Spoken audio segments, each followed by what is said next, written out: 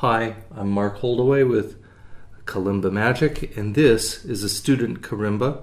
These notes are thought to be the original tuning of the first metal tined kalimbas some 1300 years ago, based on the research of Andrew Tracey. And now you can play on this instrument and learn the kinds of things that people in Africa were playing over a thousand years ago. Now, this is not a traditional piece, but it's a very simple piece. It's something to get you started with, and uh, it's a good piece for students uh, as young as first grade. And um,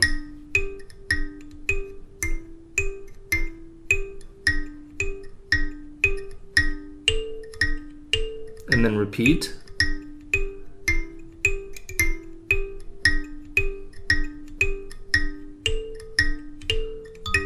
Now, this is a, a pretty classic riff because you're basically just staying on five and one, one prime there, and one time out of four, your right goes off to six, and one time out of four, your left goes off to two. So look again.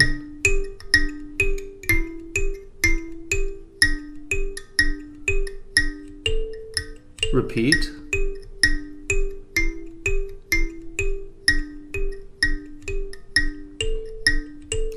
But what I really want to show you is called the Kushaura and Kutsinhira parts. Now, in this song, we play the exact same parts, but one of them is delayed by from the other by half a beat. And I've got Jordan here to uh, demonstrate. And so let's start out by playing it together. One, two, ready, go.